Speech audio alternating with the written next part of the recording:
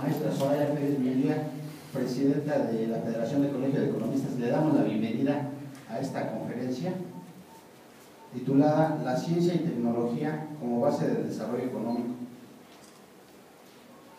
Contamos con la asistencia del doctor Rolando Isita Tornel, del doctor Raúl Alba García y del doctor Horacio Sánchez Bárcenas, a quienes cedo los micrófonos ya que será nuestro moderador en esta conferencia.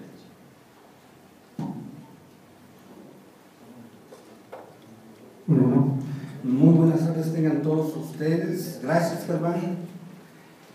Y también, este, primeramente quisiera agradecer a la presidenta de nuestra federación, la maestra Soraya Pérez Munguía, por facilitarnos las condiciones para poder llevar a cabo este importante evento dentro del marco hacia una política de Estado en educación, ciencia y tecnología. Dicho foro se llevará a cabo el 19 de octubre de este año y la conferencia que hoy se presenta aquí en la Casa del Economista es en ese, en ese marco.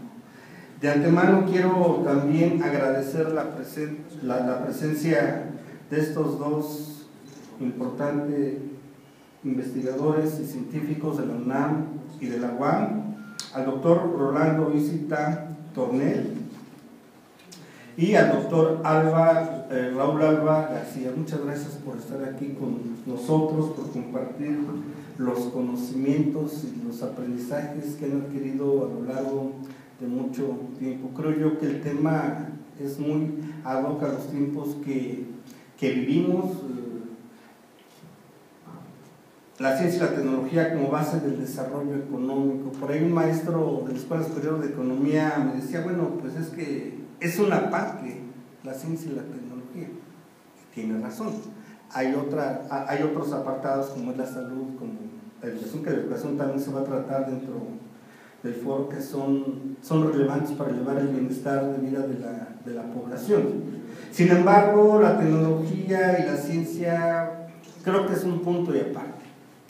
Los países de reciente industrialización creo que han tenido como, un eje fundamental el desarrollo tecnológico.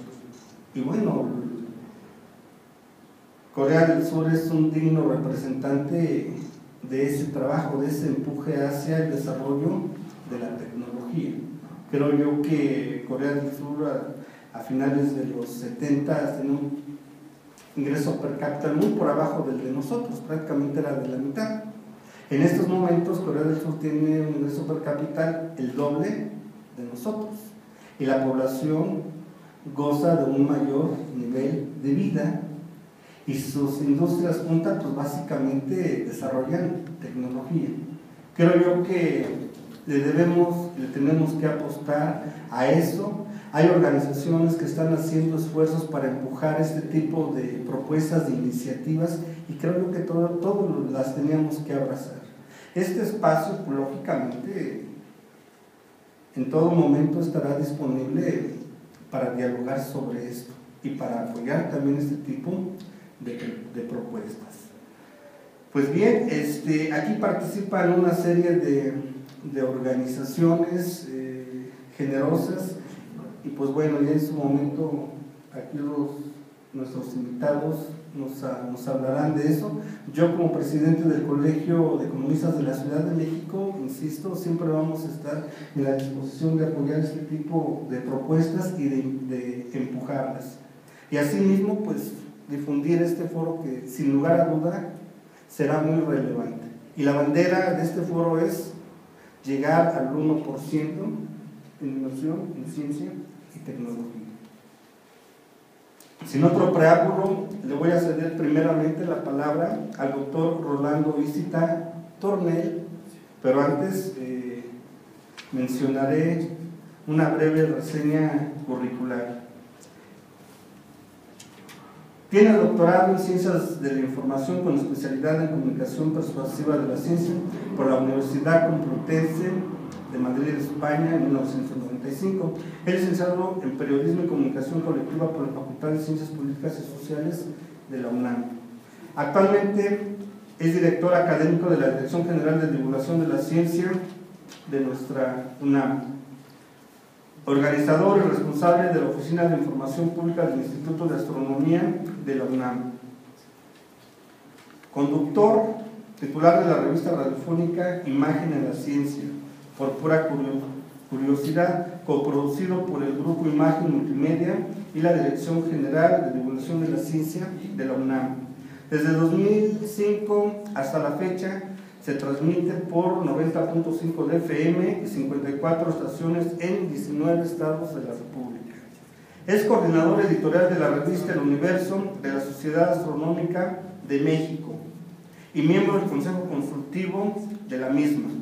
Fundador de Cine de Arte, organizado por el Instituto de Astronomía, la Filmoteca de la UNAM, la Dirección General de Divulgación de la Ciencia y NIBIRU Dirección General de Nibiru Sociedad, Nibiru es una constelación. Nibiru, Sociedad Astronómica de la Facultad de Ciencias. Pionero de la divulgación de la ciencia por radio desde 1982 en el Centro Universitario de Comunicación de la Ciencia de la UNAM. Ya. Adelante, doctor. Muchas gracias. Este, es, es un honor estar aquí en la sede de la Federación de Colegios Economistas del país. A mí me sedujo mucho la economía a lo largo de mi carrera, particularmente porque era un momento en el que en la sociología, la ciencia política, la comunicación, decíamos que en la base de todo está la economía. Y obviamente estábamos muy influidos por las ideas marxistas. de las relaciones de producción, la plusvalía, de dónde sale. Y déjenme decirles que después de todo lo que ha pasado y la economía liberal y la globalización, sigo sosteniendo que no hay que ser marxistas, pero el modelo económico que nos definió de dónde sale la riqueza sigue siendo vigente, muy vigente. Volvemos al mundo, hay agitación social en muchos países y básicamente se trata de una economía globalizada donde la economía está muy sana y los seres humanos cada vez más pobres y sin trabajo, los jóvenes con trabajos precarios. Entonces, pues a mí me dio siempre esa curiosidad. Además de que en mi experiencia laboral me tocó para mi país vivir algo estaba pasando en la década de los 70 que después de muchísimos años de desarrollo estabilizador y paz social, había agitación sindical. Muchos sindicatos, en su PIN, en su TERM, este, donde nace la coordinadora que, ¿qué pasó con ella? No, no, nació así, era frente a los charros, este, que decía don Fidel Velázquez, economía que no beneficia al trabajador, hay que hacer otra revolución el, mismísimo don Fidel Pilar del sistema en aquellos entonces. Y bueno, pues paso yo a ser divulgador de la ciencia porque eh, hay un grupo en la UNAM que le parece al doctor Luis Estrada que es muy importante la ciencia como parte de la cultura. Y entrando yo en eso, pues me puse a divulgar la ciencia, aprendí muchas cosas de la ciencia, pero un momento fundamental fue cuando el doctor Luis Estrada, él es físico, eh, era muy, muy dialogante, me da una revista para que reflexione sobre ella, era la revista New Technology Review, eh, revista arbitrada de, tecnología básicamente, donde hacían un estudio de nuestro país, muy interesante. No sabíamos a los pelados, a los mortales comunes y corrientes, ajenos a la política o a la economía, eh, ¿qué demonios estaba pasando? Estamos hablando de 1985, todavía no llega a aquel 88 este, eh, debatible todavía por, unas elecciones, pero básicamente porque en los postulados del nuevo grupo eran el liberalismo económico. ¿Qué es eso? Pero bueno, en ese entonces, pues en 85 no, no está pasando eso, aunque ya hemos tenido crisis económicas, ahorra uno sus dineros en pesos, y luego, ay, que se devalúa, pues vamos a ahorrar en dólares, y para el Estado me confisca mis, mis ahorros en dólares, ¿y yo qué culpa tengo como ciudadano? Bueno, ese es el contexto cuando leo la revista donde hacen un estudio detallado de por qué los Estados Unidos deberían de invertir en empresas maquiladoras en México. Y analizaban, los trabajadores están controlados por sindicatos integrados al sistema. No incurren en huelgas ni amenazas de esas cosas. Pero además, eh, en sus eh, revisiones de contratos colectivos, no demandan cosas como en Estados Unidos que les cuestan mucho dinero, que son la ergonomía. Esto es, la máquina no debe de afectar mi cuerpo. Entonces, si me tengo que subir en una cajita para darle vuelta a la manivela, no, eso lo tiene que pagar la empresa. Si la estatura media de los trabajadores es esta, pues la manivela debería de estar en este. No me tengo que estar agachando. Eso no lo peleaban los sindicatos mexicanos. Y que además sus trabajadores eran muy hábiles en adecuarse a las nuevas tecnologías. Entonces, Estados Unidos invierte ya sabemos que después se llenó de maquiladoras en la frontera de los Estados Unidos, pero a mí me llamó mucho eso la atención. Y además hablaban de una economía del conocimiento. Ah, sabes qué es eso? Ahí quedó el asunto. Entre otras cosas, había que elevar el baremo de la formación en el mercado de trabajo. De todo el mundo decíamos que éramos licenciados, pero no todos habían terminado. No, las secretarias decían, no, el licenciado él sí estudió, porque todo el mundo era licenciado, pero no, ya no era suficiente ser licenciado, sino había que ser maestro o doctor, como después el doctor Aspe y el doctor Cedillo nos demostraron que no tengas doctorado ni vengas por aquí. Y que además ya no se formaban los economistas como el doctor Jesús Silva Gesto, que veo por aquí hay un premio, tuve el honor de haberlo conocido personalmente y que cargara mi hijita, porque él era embajador de México en España, cuando yo hice mis estudios por allá, entonces tuvimos una relación amistosa muy, interesante, donde él decía, platicando con él, las embajadas en, en el ejército las agregadurías militares son un premio. Y fuera del circuito VIP, Francia, Inglaterra, eh, Alemania, Estados Unidos, las embajadas son un castigo. Así era nuestro sistema. Mandaron a, qué sé yo, Augusto Gómez Villanueva a las Islas Fiji y le preguntaban, eh, pero castigó el presidente. No, yo siempre fui estudiante de relaciones exteriores. Al fin el presidente entendió cuál era mi vocación.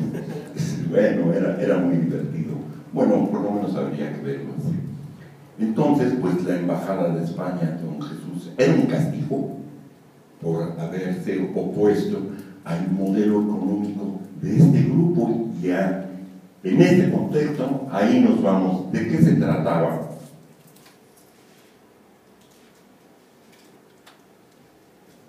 De una economía basada en el conocimiento. Una presidenta de la Sociedad Mexicana para la Divulgación de la Ciencia y la Técnica, doctora en física, eh, llegó a comentar, hablan de una economía del conocimiento, pero no dicen cuál. Bueno, estudiar física no te hace muy culto, sabrás mucho de física, como decía don José Ortega y Gasset, que no nada más había masas y reventas que podían votar por Hitler o por Mussolini. También Ortega y Gasset decían, hay científicos masa, que saben mucho de muy poco y se atreven a opinar de aquello de lo que no saben. Entonces, bueno, pues carecemos de una cultura científica, carecemos de una cultura en general por parte de, los científicos, saben mucho de física de partículas, de estallidos de rayos gamma, y pues, no, no hay que vincularnos con las empresas, esas cosas suceden. Sí, estaba equivocada esta eh, física, presidenta de la SOMEDICID, era perfectamente claro que sí se explicaba cuál conocimiento, el conocimiento científico, física, química, matemática, biología. Nos inscriben en la OCDE, nos preguntaron a todos en el Congreso, nada, nos inscribieron en punto. Y no nos explicaron ni para qué, pero habría que ser del club de las más importantes economías. Entonces eran 29 países, nosotros éramos el 29. Nos inscribieron en 1994.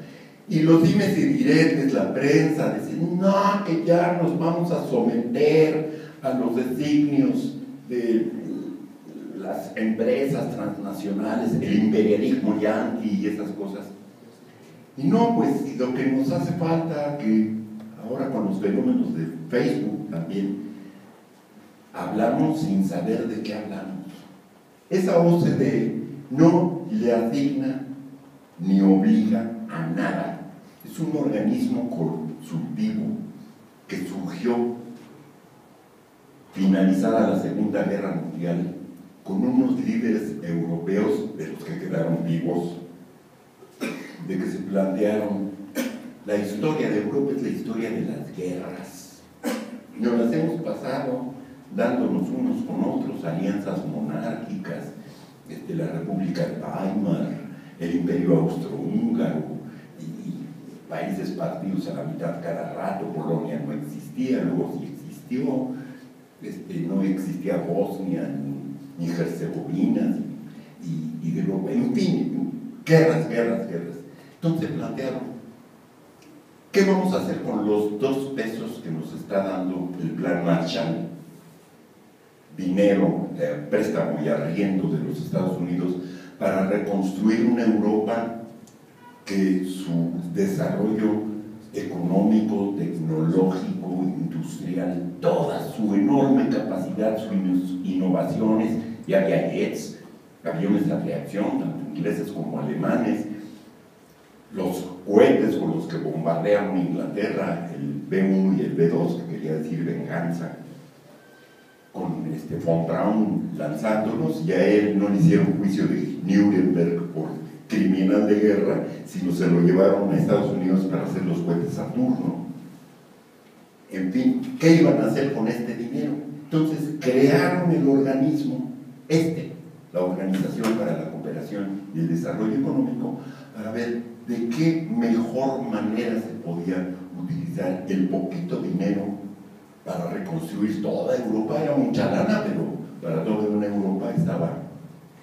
Entonces empezaron a crear organismos como este consultivos, dentro de los que se plantearon hacer la comunidad del carbón y el acero. Porque ellos mismos se planteaban, nuestros ciudadanos son xenófobos, este, muy ignorantes, por cierto, aunque las teorías de la evolución eh, respecto al origen del ser humano todavía no estaban tan avanzadas. No había hecho su descubierto Richard Leakey del ancestro común a los seres humanos estaba en África y de ahí veníamos todos. O la genética, uy, estaba en pañales. Entonces no teníamos muchos datos y conocimientos, menos aún públicos, como para que el español dijera maldito gabacho, porque así le dicen a los franceses. O el, el francés ve a un español y diga la mera, y, y cosas así. Entonces iba a ser muy difícil. Vamos primero, comunidad del carbón y el acero. Después, muy importante, la comunidad atómica. Entonces, todos los países miembros de, Europa, pero básicamente Alemania, Francia, Inglaterra, este, Italia, eran los, los países más o menos que llevaban la dirección del asunto, con dirigentes como Mitterrand, como Helmut Schmidt. Este, en, la, en la clandestinidad estaba Felipe González como presidente del PSOE español, todavía gobernaba Franco, y se plantearon que era la ciencia la que podían compartir, que no había posibilidades que un solo país hiciera todas las inversiones para hacer desarrollos como hasta los que habían llegado entonces, como este, toda esa maquinaria industrial y acero que se le aventaron a las poblaciones en las cabezas, destruyendo Dresden, destruyendo Coventry, antes que, no sé por qué los historiadores sacan a España de la Segunda Guerra Mundial, porque la Segunda Guerra Mundial comenzó en España. Hitler y Mussolini, sus estucas bombardeando Guernica, allí en el País Vasco, la destruyeron porque estaban experimentando qué reacción tenían los ciudadanos con los bombardeos. Porque estaba prohibido por la Liga de las Naciones, por la Primera Guerra Mundial, de bombardear ciudades. Se pasaron la ley el forro y bombardearon todo. Polonia, su capital, Varsovia, quedó destruida, Dresden, Berlín, Londres, en fin. Después crearon la comunidad, se plantearon la gente no va a intercambiarse rápido, no se van a aceptar los ciudadanos unos con otros, pero los productos sí. Y por lo menos en mi edad nos tocó ver los documentales de Demetrio Bilbatúa en los cines, donde nos decía, y la comunidad económica europea, y la comunidad económica que hacían aviones y que hacían esto y que hacían aquello. Entonces la gente se acostumbraba en los anaqueles Francia de un aceite de oliva italiano o español, o unas carnes inglesas, y, no se ponían a ver, ay, no, guacala, es inglés. Y el último gran paso que dieron fue la libre circulación de capitales, bienes y personas, cosa que en los restos de los tratados de libre comercio es libre circulación de bienes, servicios, capitales, pero la gente hay que ponerle un muro. O la Europa fuera de Europa no deja pasar gente tampoco. Ahí también hay sus muros aduanales, no es libre circulación de las personas. Que si nos remitimos a el asqueroso marxismo, es que es capital humano, es mano de obra, también es parte de la economía, no se ve como personas, es mano de obra. Pues esta revista New Technology Review nos estaba diciendo, México es la onda en la mano de obra. Estos dos organismos internacionales, que con toda deliberación se los planteo, que no tienen que ver nada con, con marxismos y, y estatismos ni nada de esas cosas, son los que impulsan el capitalismo salvaje tal como lo conocemos, se plantean que los países miembros de la OCDE deben de analizar, revisar y modificar sus sistemas de ciencia y tecnología. Y no se quedan ahí. La población tiene que estar involucrada en el asunto porque el valor agregado en esta economía del conocimiento ya no es eh, te vendo el no, este no es un buen ejemplo.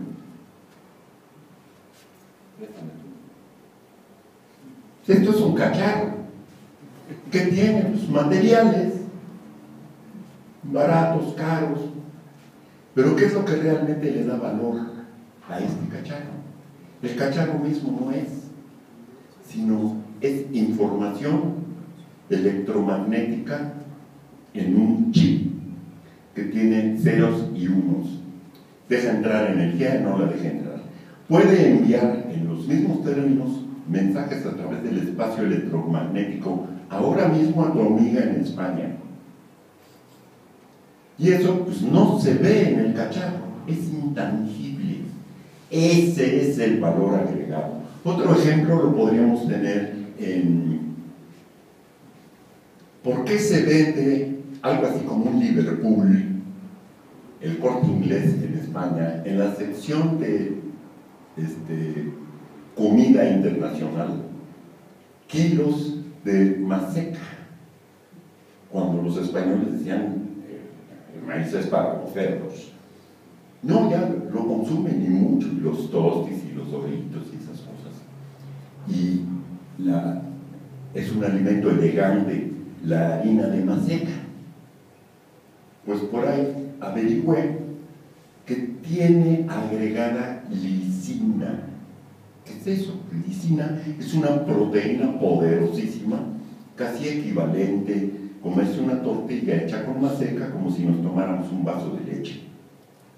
La proteína, el nutriente, pues, tiene lisina. ¿Dónde está esa lisina? ¿Dónde la encontramos? En el amaranto. Tampoco sabíamos que así se llamaba. Tuvimos que averiguarlo en otro lado, el amarantus especie. Nosotros conocíamos las alegrías, las pepitorias y vivían en el clandestinaje y era la gente más pobre la que la producía y la vendía. En tablitas, en Chapultepec, en los parques, los domingos.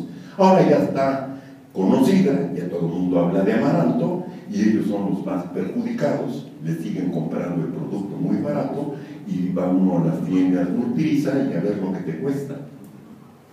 Entonces había que tener educación en ciencia, tecnología y decirle y enseñar a la población que tiene un gran impacto en el desarrollo económico. Tener unas sociedades con acceso a la información. Acusadamente la información ahora está en Internet. No tiene uno que ir, tiene que ir uno, tiene que ir uno a las bibliotecas todavía. Pero hay mucha información, toda la que les voy a poner aquí la he obtenido en Internet. Podría haberla obtenido yendo a las oficinas de la OCDE y comprar los libritos. Pero ¿cuánto tarda entre que tienes información, la revisión editorial, la formación, el formateo, el paste este, el papel, mandarlo imprimir, encuadernar el libro y en internet la tengo y la subo y la gente tiene acceso.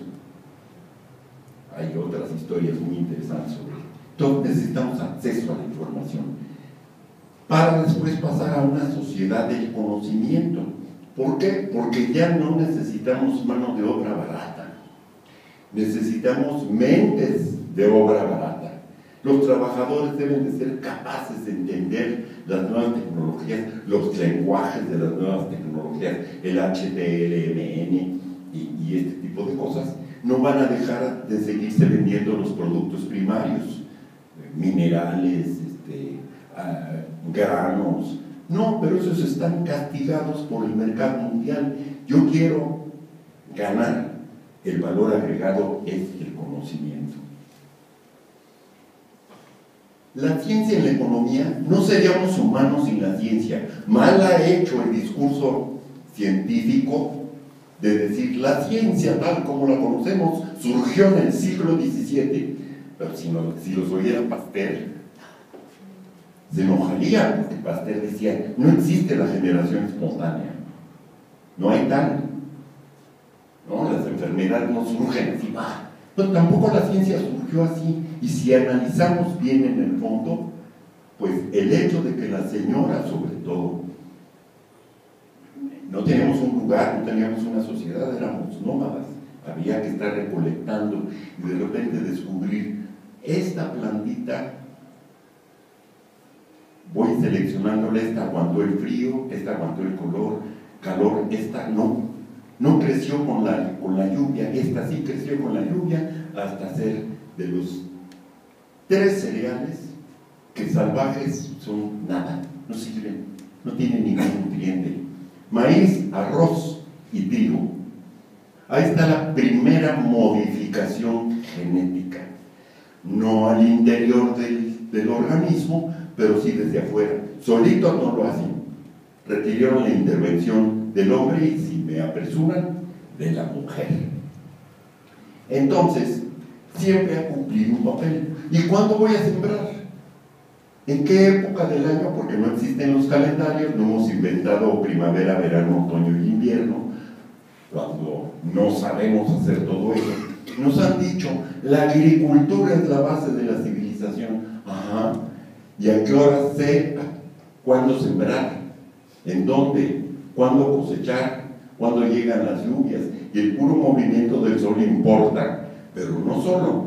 ¿En qué astro se acomoda y cómo está el cielo acomodado para saber? Ah, entonces primero fue la astronomía antes que la, agricultura y para muchas otras cosas. Entonces podemos tener así varios ejemplos. No es cierto que la Tierra era redonda a partir de Cristóbal Colón, él ya lo sabía, y que le financió y le regaló los mapas, eh, también lo sabía un mercader italiano que había tenido acceso a documentos que el cristianismo había quemado o de los que se salvaron de la quemazón de la biblioteca de Alejandría. O sea, más del 90% del conocimiento acumulado desde la antigüedad hasta los griegos fue quemado, incinerado por los primeros cristianos en la biblioteca de Alejandría porque era cosa del diablo. Y a la directora de la biblioteca, la última, una gran astrónoma y matemática, Hipatia, la desollaron viva porque era hechicera y hacía cosas del diablo. Bueno, pues entre esos conocimientos estaba el de Eratóstenes, que de una manera muy sencilla descubrió cómo descubrir en los 800 kilómetros que él conocía, con sombras del sol en obeliscos y la geometría euclidiana, sacó la conclusión de que, el perímetro, que la Tierra era redonda y que el perímetro era de 40.000 kilómetros. 300, 200 años antes de Cristo, algo así. Entonces, la no, no le cambies de este, siempre ha tenido un papel fundamental antes que las armas, antes que los políticos, antes que los reyes, lo que les da poder es el conocimiento de la naturaleza usado para otras cosas. Entonces siempre ha tenido un papel central en el desarrollo. En la actualidad, más que nunca. Es la economía basada en el conocimiento, donde el valor agregado son conocimientos científicos. Y son los centros e institutos de investigación científica en las instituciones de educación superior públicas en todos los países miembros de la CDE, OCDE, el corazón del sistema científico de los países. ¿Por qué? Porque a las instituciones privadas les cuesta y sacan la funcionamiento de las cuotas y la investigación científica cuesta. Entonces, si no vamos a tener un resultado pragmático, práctico, utilizable, ¿para qué invertimos en eso? Mejor lo que ya sabemos, ingenierías de todo tipo, administraciones, sistemas, computación, pero lo que ya sabemos se lo transmitimos a los estudiantes y que vayan y se incorporen a las empresas. Mientras que las universidades públicas, ese no es su objetivo aunque hay quienes lo intentan. Recomiendan tanto el Banco, Mundial como la OCDE un uso eficiente del conocimiento que ya existe, todo para esto, paréntesis, no existe la ciencia estadounidense, ni la ciencia china, ni la ciencia mexicana, por algún título medio ridículo que leí, el planeta mexicano. No hay planetas mexicanos. Hay planetas, hay cien, ¿por qué? Porque lo que hay son fenómenos de la naturaleza. Y aquel, todos estamos capacitados para indagar los secretos de la naturaleza. El que lo indague, pues está haciendo ciencia, donde quiera que esté. ¿Y quiénes? Los seres humanos. La población de los países requiere de una educación y un desarrollo de habilidades Hoy estamos viviendo un fenómeno que le llaman reforma educativa, que yo no la veo por ningún lado como reforma educativa. Hay quienes dicen que es una reforma laboral, así lo quieren ver. Lo que yo puedo ver desde la ciencia es, ¿y dónde está el contenido de la educación con la ciencia que hoy sabemos del Big Bang, de la tectónica de placas, del genoma humano, de la teoría de la evolución, de el modelo atómico. Eso lo deberían de saber los chicos de la primaria. Y no es difícil. No, no tienes que aprenderte todo desde los griegos para entender la física atómica. No es cierto. Se puede enseñar inmediatamente. De eso no se está hablando. Entonces, ¿cuál reforma educativa? Nuestros exámenes de la OCDE, desde que entramos, nos hacen cada dos años las habilidades y conocimientos para la vida, el examen PISA. Y dice mal la prensa, porque la prensa siempre tiene prisa y, y si no escandaliza, no vende. Entonces una buena noticia no es noticia. Y además las que son, que tienen que ver con ciencia, y luego las tergiversan. Nuestros alumnos reprobados un año más. Si somos 29 países, somos el último país en habilidades y conocimientos de nuestros chicos. Y pasan los dos años, ahora son 32 países, somos el país 32. Y siempre en el siguiente examen cada vez salimos peor. Digo que mala prensa porque no es cierto que los chicos no sepan leer, no sepan sumar, restar, multiplicar y dividir. Claro que lo saben, como siempre lo hicimos, aprendernos de memoria las tablas de multiplicar, aprendernos de memoria las fórmulas, aprendernos de memoria las fechas, pero eso no es saber. Eso para qué, si ya está impreso, ¿para qué lo quieres? Ya está en el libro, o ya está en la computadora, ¿para qué lo quiero aquí? Y es capaz de guardar más información, terabytes, que mi cerebro. Probablemente, ¿eh? porque nuestro cerebro es muy poderoso en sus capacidades informativas. ¿Qué es lo que no hace ni el libro ni la computadora? ¿Qué tiene que ver la tabla del 3 en los mangos que tenemos y el número de miembros de la familia? Ah, ahí sí tiene que ver a cuánto le toca a cada uno. Entonces lo que tengo que aprender a hacer es a plantearme el problema y usar una herramienta, no al revés. La herramienta no es la ciencia, es una herramienta.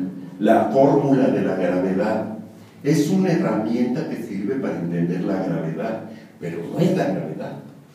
Primero tengo que entenderla yo, que es, ah, no, los cuerpos se atraen porque tienen masa. ¿Y cómo mides eso? Ah, entonces sí, ya utilizas la formulita. Pero, ¿de qué me sirve aprenderme la formulita si no sé para qué sirve? A pensar, pues. Entonces, esos exámenes plantean problemas que tendrían que ser resueltos con las herramientas aritméticas o geométricas. No sé si se las saben de memoria. Y la otra es leen. Claro que leen, muchos nos tocó. Nos paraba el maestro enfrente con un texto, con marquitas y con su cronómetro. Empieza a leer. Sistema universidad los maestros, empresas, centros de investigación, universidades, asesores. Ya. Muy bien, tienes 10. ¿Qué dice lo que leíste? Sepa. Entonces, saben leer, pero no se sabe, no aprendieron con H. Ahí es donde salimos reprobados. Y necesitamos crear esas habilidades. Necesitamos a los alumnos enseñarles a pensar. Un profesor no es capaz de tener todo el conocimiento que existe.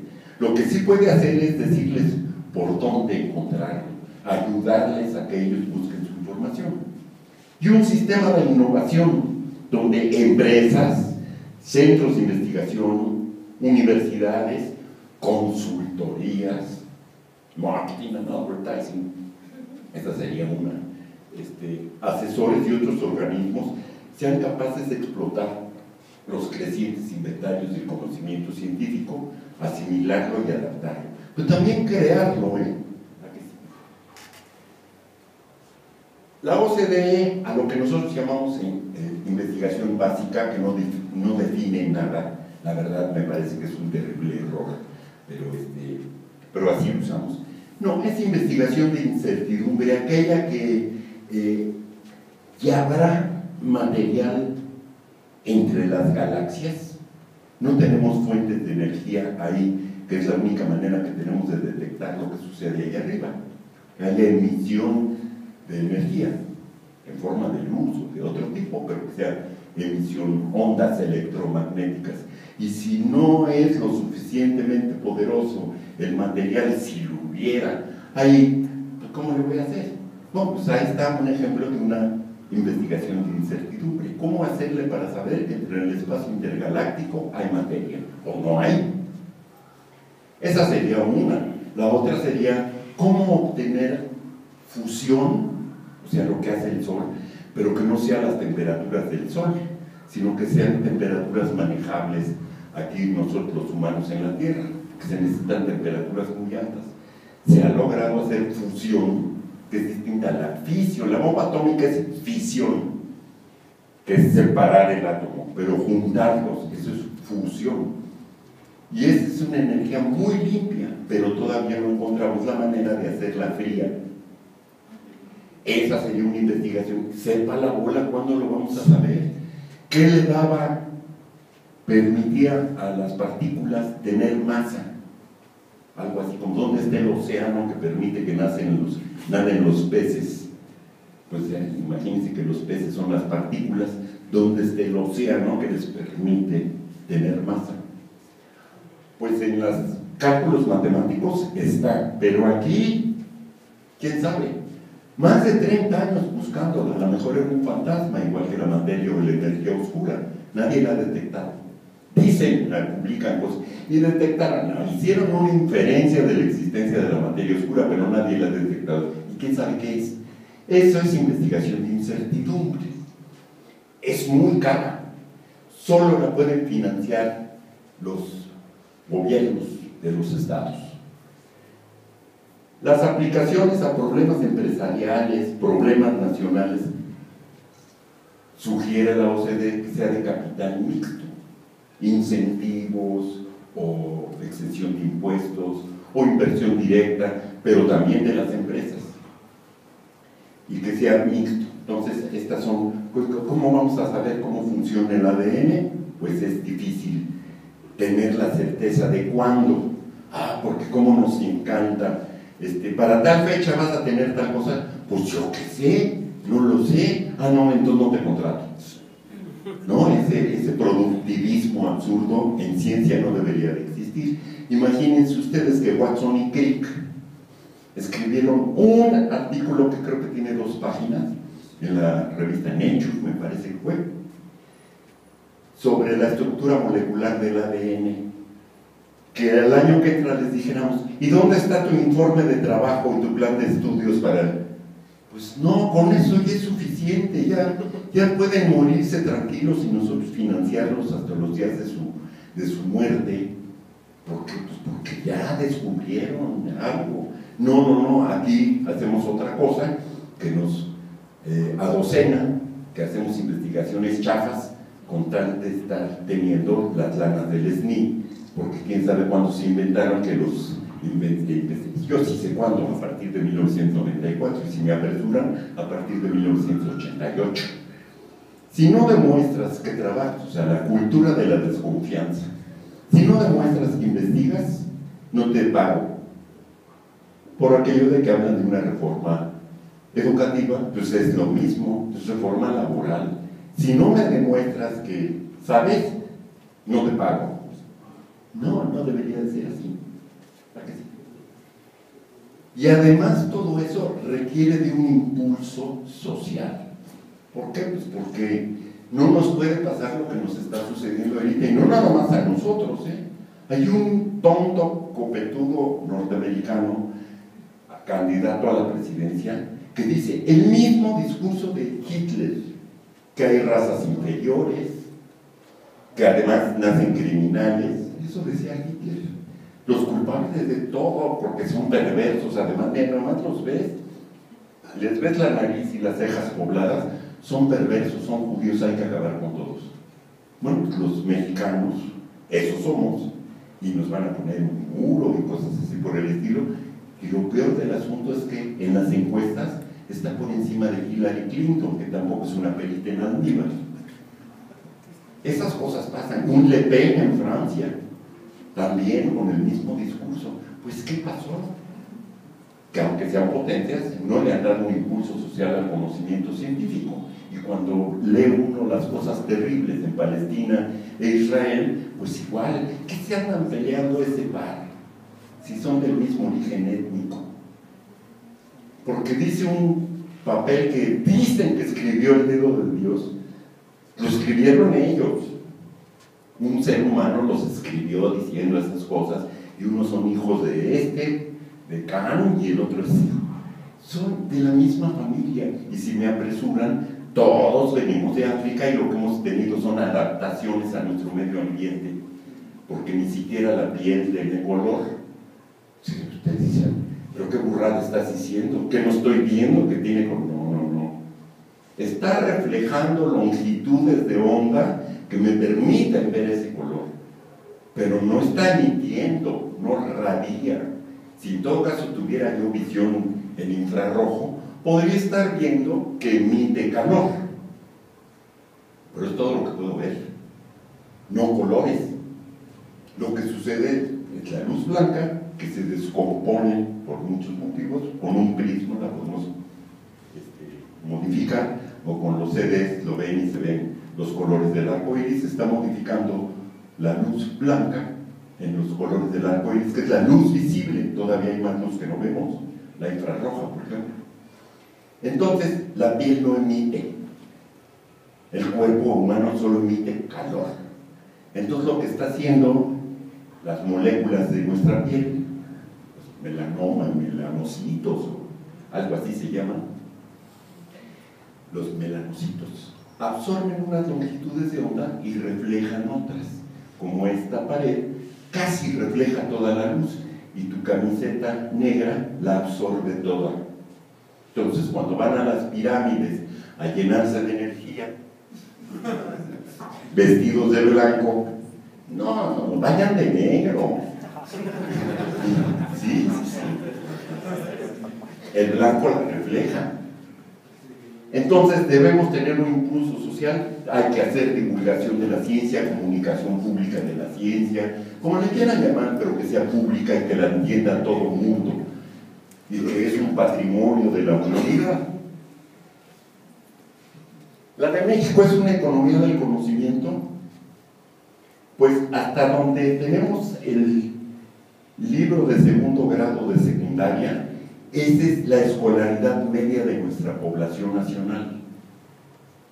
Entonces, el contenido es planetas, moléculas, átomos, seres vivos, aquí no se alcanza a leer, pero información mínima básica que tiene que ver con la ciencia, pero que sepamos que este contiene la información de todo ser vivo, quién sabe, o que la tabla periódica de los elementos, pues quién sabe, la diferencia entre elemento y compuesto, Entonces, si les hablo de fisión fría, si les hablo de genomas, si les hablo de genética, los que hayan llegado con escolaridad de segundo año, esa es la información que tienen para desdoblar el comunicado científico. Pues no, no, es que esa palabra de que me están hablando. Son 7.8 años, es el segundo, de, casi al, al final, sin llegar a los exámenes finales del segundo año, esa es la escolaridad que hay. Ah, pero eso sí, el 90% ve la televisión. ¿Dónde está la Secretaría de Educación Pública en México? ¿Alguien se sabe su dirección? Avenida Chapultepec 18. Exacto, sí sabe. Es en Chapultepec 18 donde está la Secretaría de Educación. ¿Por qué nos hemos vuelto sabios? Pues vean las telenovelas. ¿Por qué un, un, un arco me puede llegar a mí si, que si no me mando a hacer mis tetas no la hago? Vean las telenovelas. 90, y solo una décima de los viventes de esa porquería ven programas de ciencia. 35% lee revistas.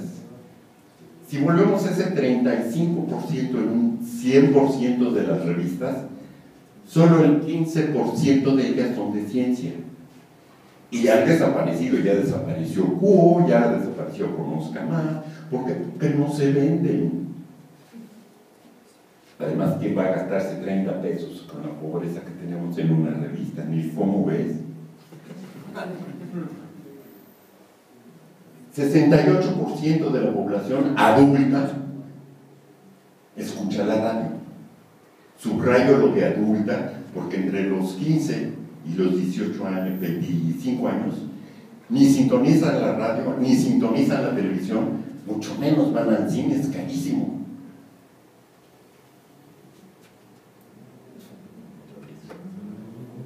Aquí es donde se enteran de todo.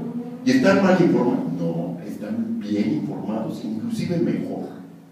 Hay muchos informadores que hablan en su lenguaje, que dice chico también parado como López Dóriga frente a una cámara que dice, y les dice, háganme el chingado favor, que no es cierto de la Casa Blanca, pues que nos ven la cara de pendejo. Y hablan en el lenguaje que hablan los chicos. No, esta noche en hechos, no, nada de eso, no existe. Entonces sí, sí están en ahora, ¿Qué información tienen? Eso es otra cosa.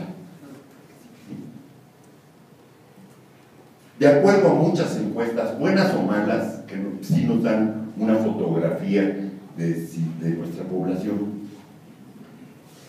mucha gente, y en Facebook, eso no es una nebulosa, es el ojo de Dios. Esa es su visión. No, es la nebulosa de la hélice. Y les preguntan, y me ha tocado, divulgador de la astrología, oye, y estamos al doctor Lista, que es astrólogo. Y no sé si acaban de ver a Julieta Fierro con Jaime Maussan, donde la pobre Julieta quedó muy mal. Porque ellos son muy hábiles. ¿Por qué son hábiles? Porque no tienen que demostrar nada.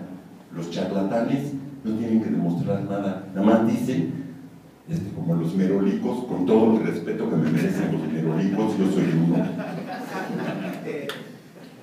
Este, sí, te venden todo los merolicos. Julieta no es merólica, le ganó Jaime Montán. Venga.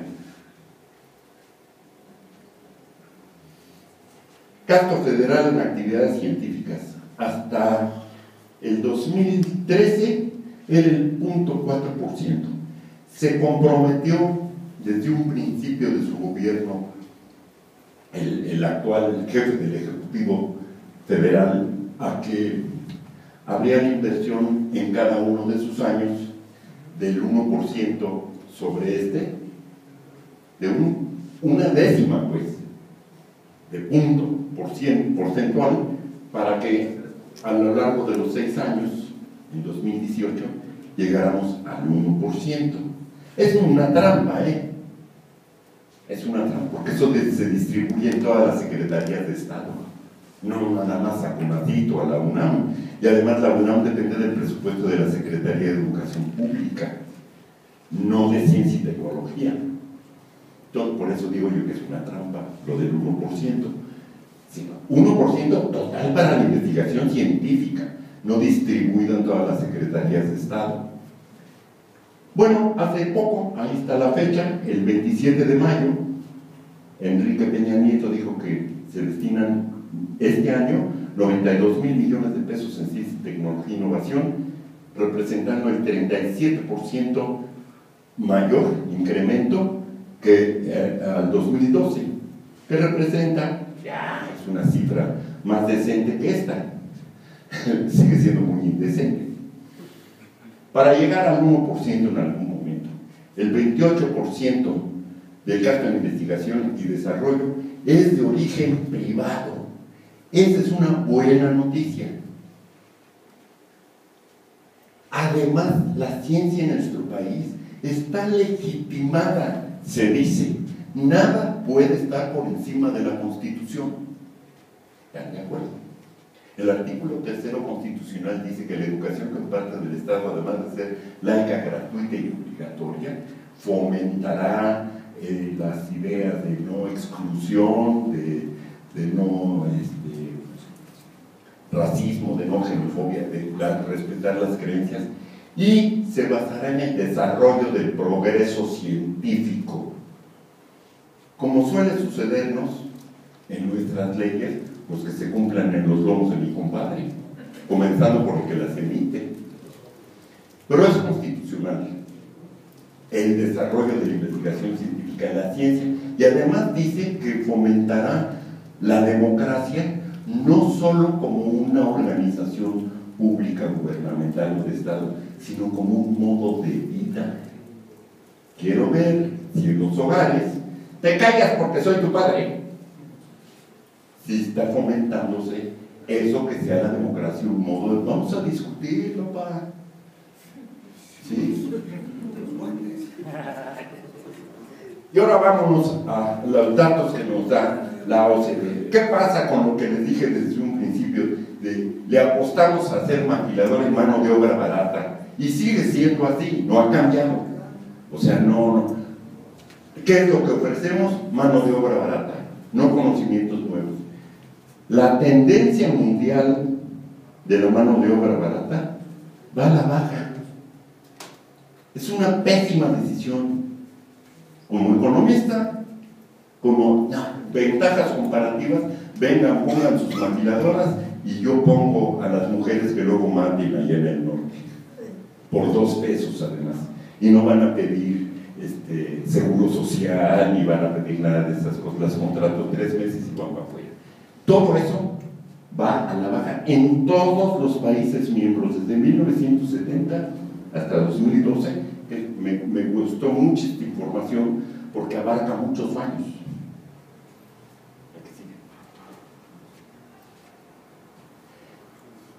Empleos con trabajadores con habilidades y conocimientos científico-tecnológicos contratados al revés, no mano de obra barata, sino mentes caras, con trabajos estables.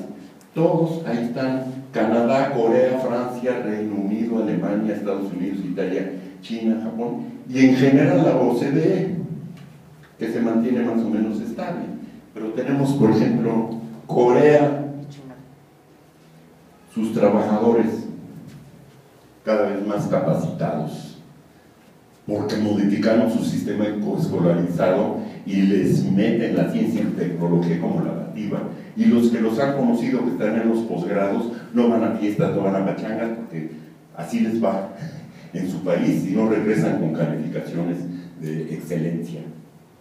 Y tenemos otra curva ahí ascendente que es la de Canadá. Productividad de los trabajadores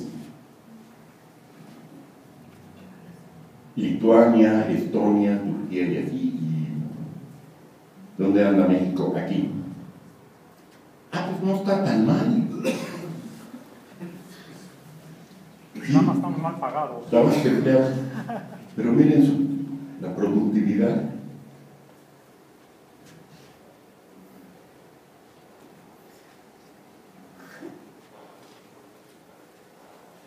Prácticamente no existe. O sea, sí, lo hemos leído. Somos los trabajadores, somos el país donde los trabajadores trabajan más de ocho horas, pues son los más improductivos. Entonces, ¿para qué los quiero aplastados ahí a dos nalgas y no hacen nada? No le echo la culpa a los trabajadores, ¿eh? Es culpa del sistema educativo y de los empleadores y del responsable de todos, que es el administrador del Estado, porque ahí tenemos otro problema grave, ¿eh? luego de eso hablamos no es lo mismo el gobierno, la administración del Estado, que el Estado. Inversión en empresas, o sea, las empresas que reciben recursos porque hacen investigación y desarrollo. Aquí tenemos a la Unión Europea y a los Estados Unidos. Arriba. Por eso decía yo en el póster que puse yo en Facebook, las potencias lo son porque invierten en ciencia y tecnología, no porque tengan muchas armas. La que sigue, que voy a acabar. ¿eh? Capital basado en el conocimiento.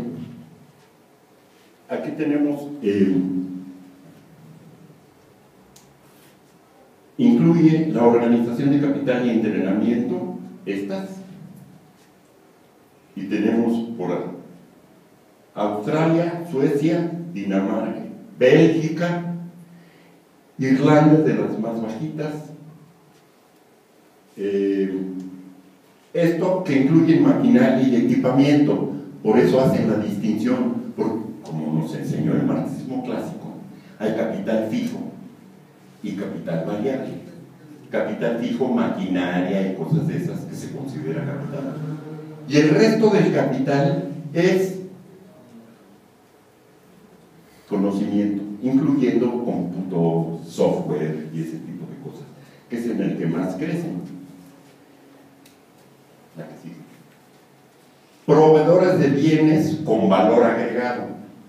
¿Qué es el, el valor agregado? Es innovación tecnológica, conocimiento científico, alguna proteína basada en haberla descubierto o, o cosas así por el estilo.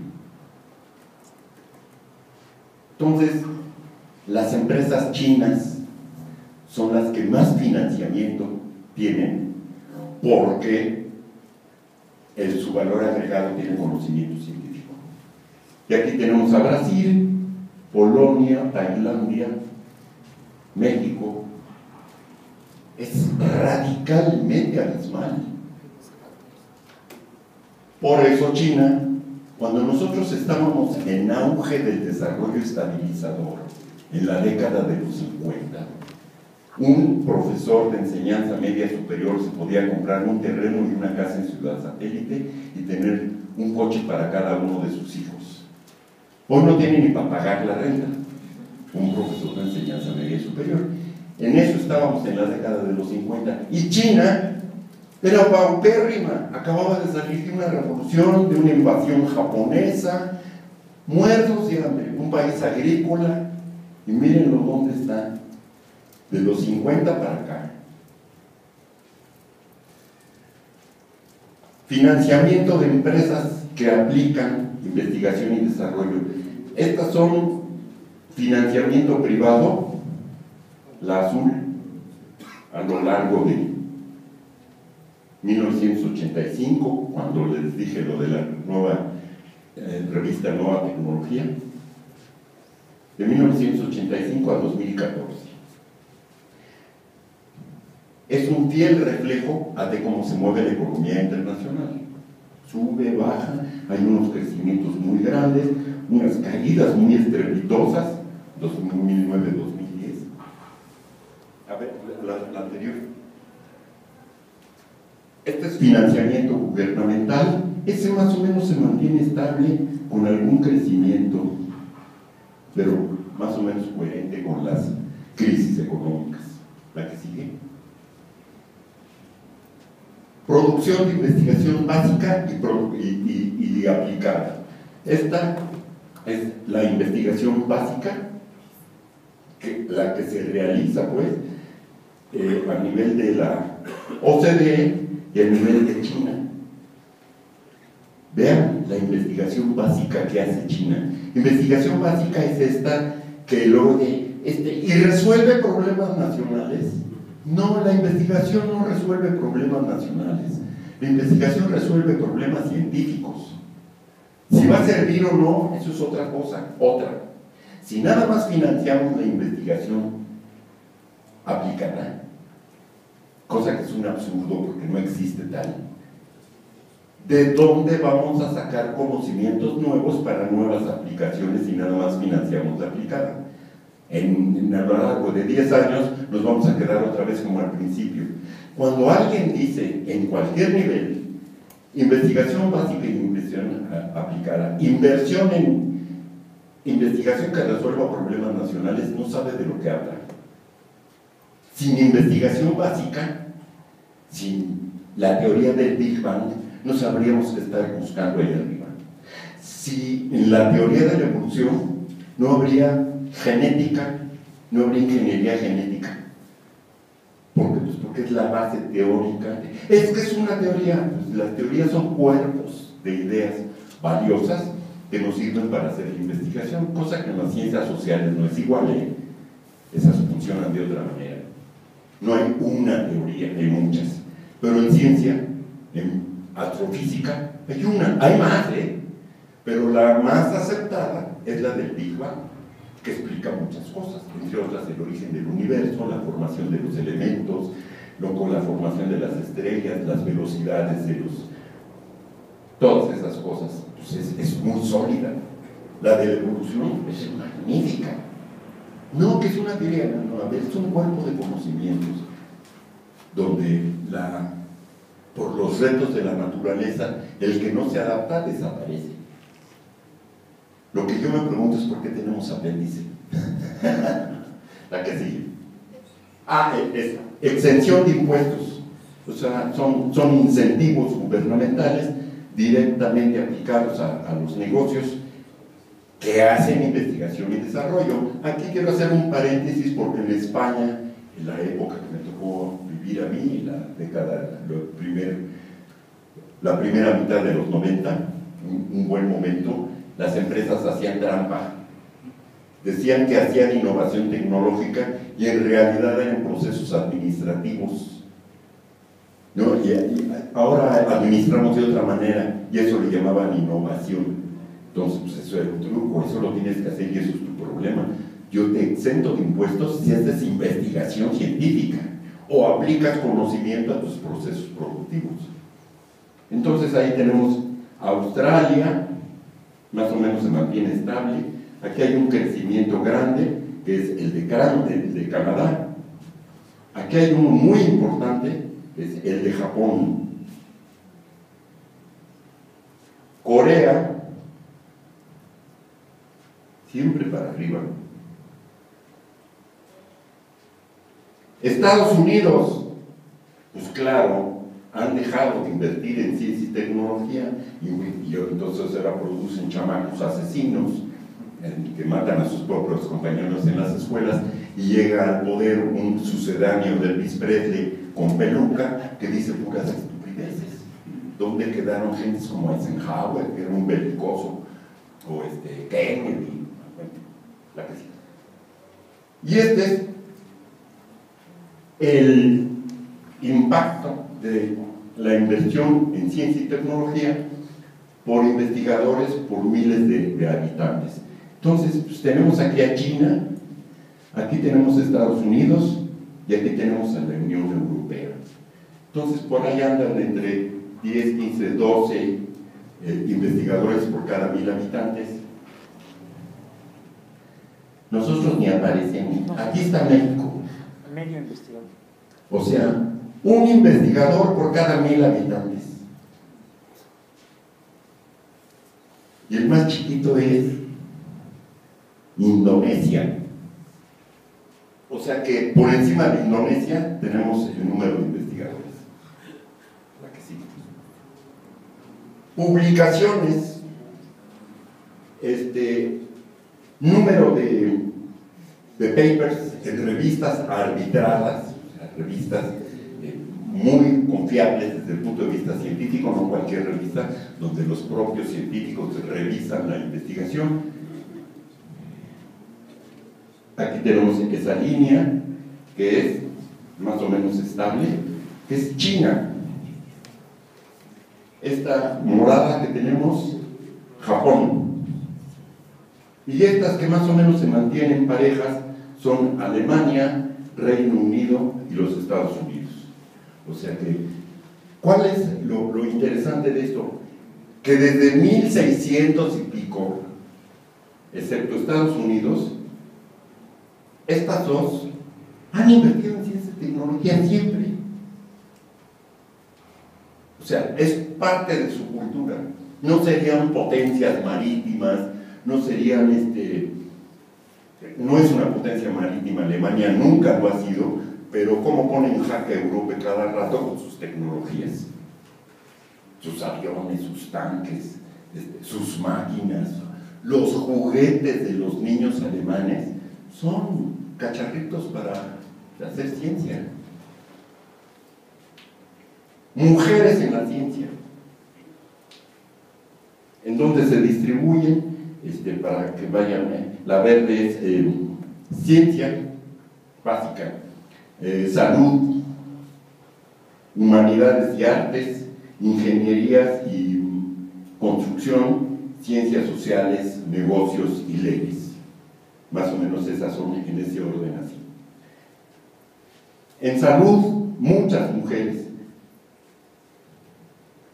En humanidades y artes, pero no está tan mal en ciencia. Más o menos se mantiene estable desde 2005 que se empezaron a hacer estas, estas encuestas. Y bueno, como se ve, tiene sus, altas y bajas. Eh, Hay un dato por aquí que es interesante, este, cuando compiten con hombres y les ganan, la, la línea punteada. Ahí esa línea es, le ganamos el puesto de investigador a un tipo. Bueno, por mi parte, espero que les haya por lo menos servido de un- una embarrada de, en la importancia de la ciencia en la economía, que si algún día aspiramos, yo sí, ya me quedan muy pocos años, 20 por lo menos.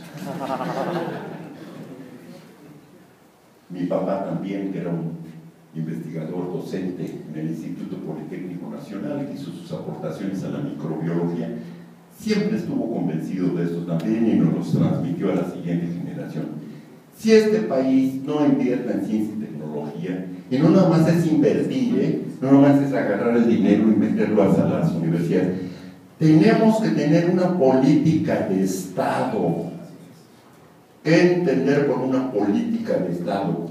Que todos los que formamos parte del Estado formemos parte de esa política de innovación, ciencia, desarrollo, tecnología, educación, agricultura, ganadería, industria, construcción, todo forme parte y qué queremos hacer, qué lugar queremos para nuestro país en el planeta, porque ahí interviene también el medio ambiente, energía, agua, ¿para qué andamos ahí? como eh, españoles eh, franquistas que investiguen otros, decía Franco. Y pues se hundió España ser una potencia transoceánica, este, llega con su revolución esta terrible, yo no sé por qué le llaman guerra civil, si hay algo más incivilizado que la guerra. Y ganaron los cerrados, los católicos, quemen a los investigadores. El 90% de los investigadores españoles tuvieron que salir refugiados. La mayoría vinieron a dar a México y muy pocos se fueron a la Unión Soviética, porque tampoco los demás los querían recibir, porque eran eh, este, disque comunistas. Para nuestro beneficio y gracias a eso, por ejemplo, los norteamericanos tenían el, la guerra, dos frentes, de Alemania y en el Pacífico a los japoneses. Un enemigo terrible, los japoneses. Pero más terrible enemigo de los Estados Unidos en el frente del Pacífico era el mosquito anófeles. Les picaba y les daba paludismo a los GIs, así les dicen a los soldados. Entonces, ¿y con qué tratamos esto? Pues a conseguirlo en el mercado negro de Filipinas, hay películas de eso inclusive, porque con hidroquinona es el tratamiento. ¿Y quién la produce? La Bayer. ¿Dónde está la Bayer? En Alemania. ¡Ah! Métanle una lana a los investigadores mexicanos que están investigando paludismo con los entomólogos españoles para buscar una alternativa a la, al tratamiento del paludismo o malaria. Ya que ni saben cuál es el, el- medicamento, ni se lo van a imaginar. Técnicamente se llama Artemisia mexicana. Y hay la Artemisia anus, que es china. Y eso a mí que me dice, el estafiate, carnal. El estafiate. Ese era el medicamento alternativo. ¿Pero por qué sucedió? Pues porque la Fundación Rockefeller y la Fundación Ford le inyectó lana a la Escuela Nacional de Ciencias Biológicas para que hicieran los estudios y encontraran la alternativa. Claro, no se logra de otra manera más que así. Entonces, tenemos que hacer toda la investigación científica para mí corrolar. No, no, no, pues, física nuclear pues va a estar en chino, que nos empatemos, tenemos 40 años de retraso. Tenemos nichos de oportunidad en energías alternativas, energía geotérmica, energía solar. Tenemos alternativas en eh, organismos genéticamente modificados. Tenemos alternativas en nanotecnología, nanociencias. Esos son nuestros nichos de oportunidad. Tenemos muchos otros más, estos nada más son un ejemplo. En industria farmacéutica, tenemos tal cantidad de plantas útiles que lo único que necesitamos hacer es cuál es el agente activo de la planta. No toda la planta sirve, aunque si usen tecitos no sabemos cuál es la dosis ¿no? en estas medicinas alternativas muy respetables y razonables de los activos mexicanos, pues ellos saben cuánto, y transmitido de generación en generación no está escrito, pero cuál es el agente activo del estatiante, por ejemplo, que sirve para. Esos son nuestros nichos de oportunidad. Entonces, bueno, pues ya, ahora sí ya acabé.